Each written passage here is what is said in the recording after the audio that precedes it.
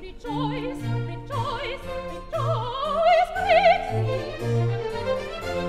Rejoice, O daughter of Zion.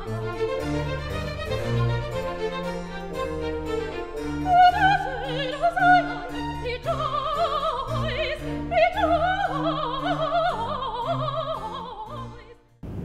Hi, I'm Catherine Jolly. Welcome to the Sheldon Online Music Academy at the beautiful Sheldon Concert Hall. Today we're going to be talking about breathing for singing. First off, we want to address alignment, as our posture drastically affects our ability to breathe and maintain our breath most efficiently.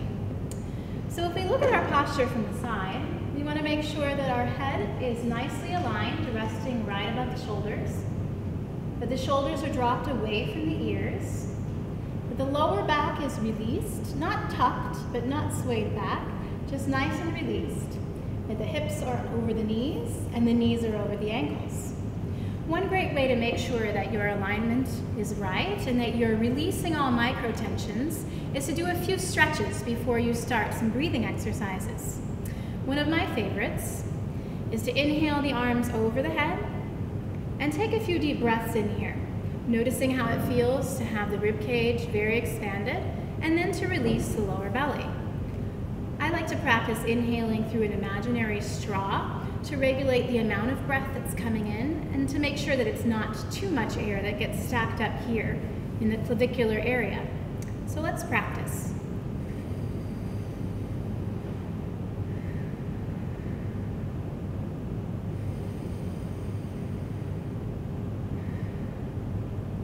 Then we can bring the arms down and try to maintain a nice open rib cage with the shoulders released away from the ears. So from the side, it looks a little bit like this. In the beginning, if you're just starting out, really practicing this increased space through the upper torso, it may feel a little bit artificially expanded, but over time, these muscles, the intercostals, will grow and they will get stronger and this will be a lot easier. Another stretch we can do is just a nice easy forward fold towards the floor. And once you're down here, you can shake a little bit. I kind of describe it as sweeping the floor to make sure that your knees are relaxed and your neck is relaxed and your jaw is relaxed. And you're expanding again through the lower back and the front side of the lower belly. And then we can slowly roll up and restack the spine.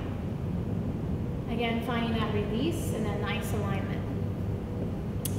So let's talk about a few breathing exercises that you can do before you even start to sing to make sure that your breath is activated and that you're accessing both the rib cage muscles here, the intercostals, and the low relaxed diaphragmatic breathing. So we call it costal diaphragmatic breathing.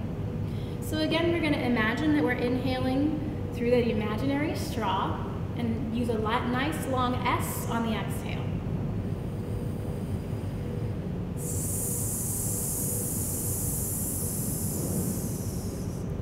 Sometimes it helps if you just put a hand where the diaphragm attaches and another hand on the lower belly. Let's try it again.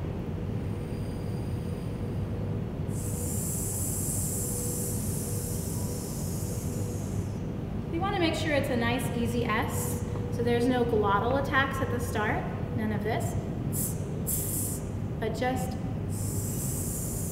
nice relaxed S.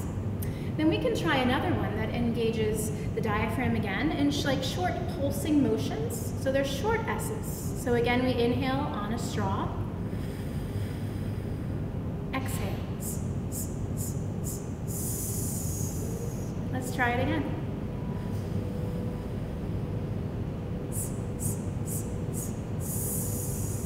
And one more.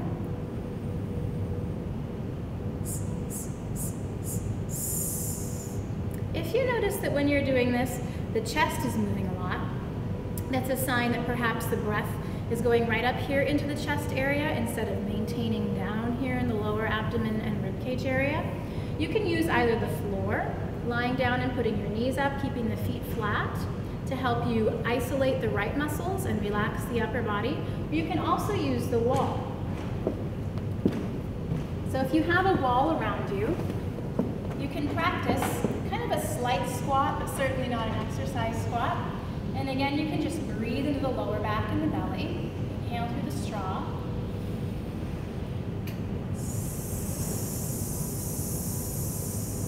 And notice how that feels. So lean against the wall and have no tension in the upper body. Let's try again.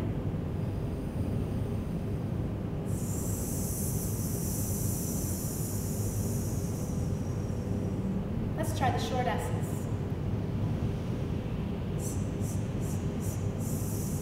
And one more time.